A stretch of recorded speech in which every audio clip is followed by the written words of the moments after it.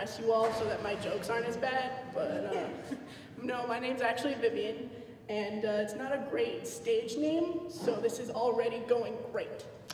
And uh, I know it's not a great stage name because when I introduce myself to someone, I freak out because I'm very socially anxious and shy. And so my name's not quick or smooth enough to say quickly and get it done because there's too many consonants in it. So I'll introduce myself to someone or someone will ask me for my name. And it's kind of like that scene in SpongeBob, if any of you guys remember, where he's freaking out and he's burning all the files in his brain. he burns his name file and he can't remember it.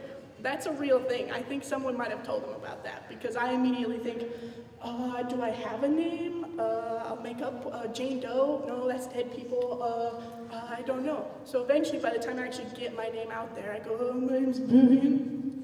and they go, I'm sorry, what was that? Did I not give them the right name? Do they know my name? And I guessed wrong? Like, it's a test or something?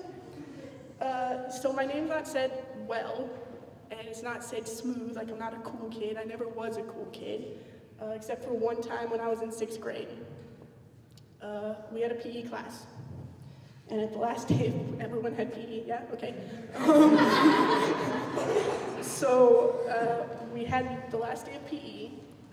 We got to pick to play dodgeball for the last day because we all decided why not beat each other's faces in before we leave.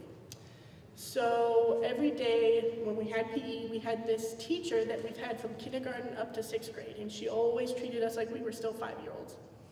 And so every dodgeball game, including this one, she would do this gallant parade out to the middle of the floor, and she'd have to remind us not to beat each other's faces in with the dodgeball. Can hit from the chin down. So she does this again at this dodgeball game. She comes out, we're inside, she's wearing sunglasses inside, like big 90s sunglasses, I don't know why. And uh, she comes out, and as she's starting to talk, there's a friend of mine directly across from me on the other side. And he's kind of egging me on. He just wants me to get him out because he was a dweeb and he didn't like sports. So I'm watching him, I'm getting really into it. And as I kind of tune back into the conversation, she says, game on. It's like a PTSD trigger in my brain. So I chug the ball chug, yeah, chug, sure, chug the ball across the floor. And as I do that, she's gallantly walking back to her spot. And the ball, like a slow motion action movie, combines with her face. and I'm in sixth grade, so I think, oh, I am now going to jail because I hit a teacher. so she's bent over, and everyone's kind of secretly trying not to laugh because it was funny. I know it doesn't sound funny right now, but it was funny. And so she's bent over, she's holding her face. We all go to see if she's okay.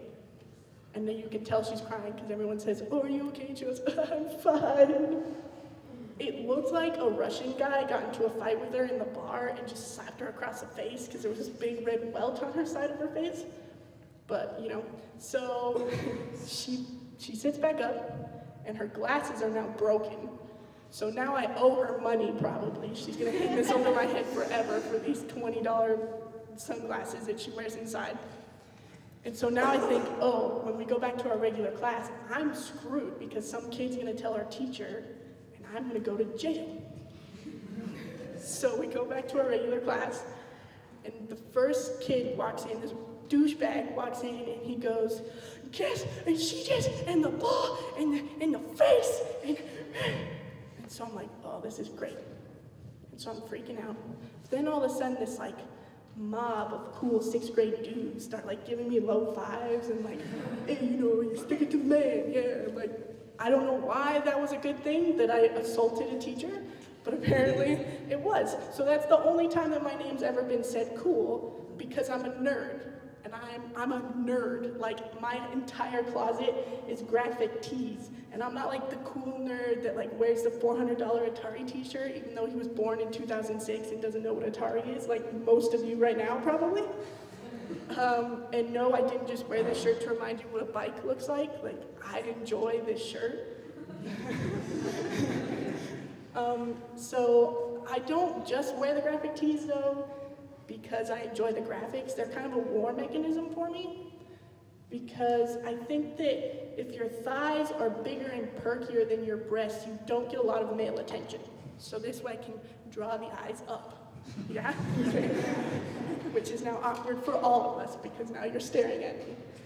But anyway, so um, because I don't get a lot of male attention or other human attention, uh, I talk to myself a lot. I think about a lot of different things. Um, and so I think about my image. Um, so like she called me Robin Williams because I call myself Robin Williams. Because with the amount of hair that is on my arms and face, he had to have had a love child with like a dishwater blonde orangutan or something. there's no way that this is natural for a human girl.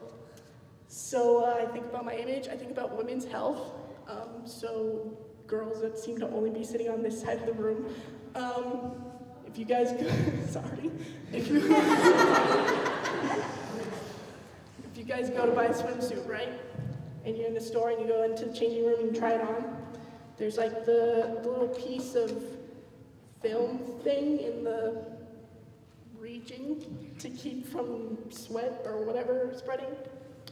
And I never understood why that was there because paper thicker than that doesn't even block the rays of the sun hitting my face.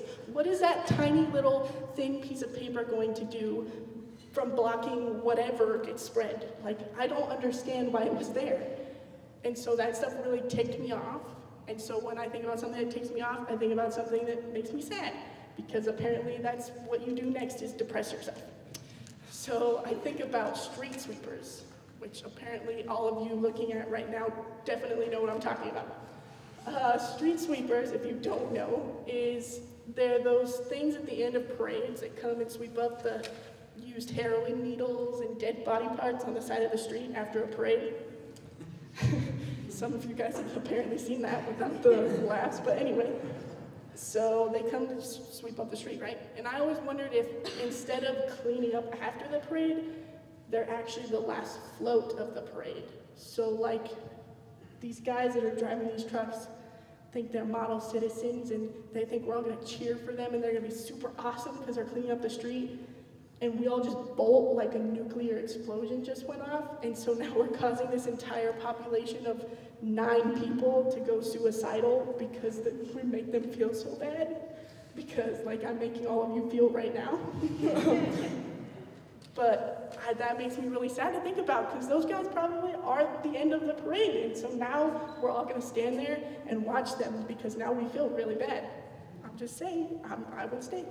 Um, so that makes me sad. And then I have one trick that will hopefully cheer all of you up. Um, and that's microphones and football helmets. So if the quarterback, right, let's say he had a microphone in his helmet to talk to the coach or whatever, talk about plays. So he throws a pass and he's watching the play, and the audio, the perfect golden nuggets of audio that we would pick up from him talking to himself, oh, it'd be beautiful. If he just threw a pass and he's watching the play and he's talking to himself, he's thinking about stuff, and he goes, Did I leave the on? The refrigerator. I don't, I don't, did I turn the stove off? Like, just random stuff. And it'd be super out of context and we wouldn't know what he's talking about. So like, they're in the huddle, right? We see him on TV in the huddle, talking about their weekend plans, whatever people in sports do, I don't know. And they break up, and he's talking to himself, and he goes, man, it's the last hug I had since Charlene left me. or he's talking to himself, getting ready, and he goes, wonder why that girl with graphic tees walked by so nervously. That's all for me, guys. Thanks.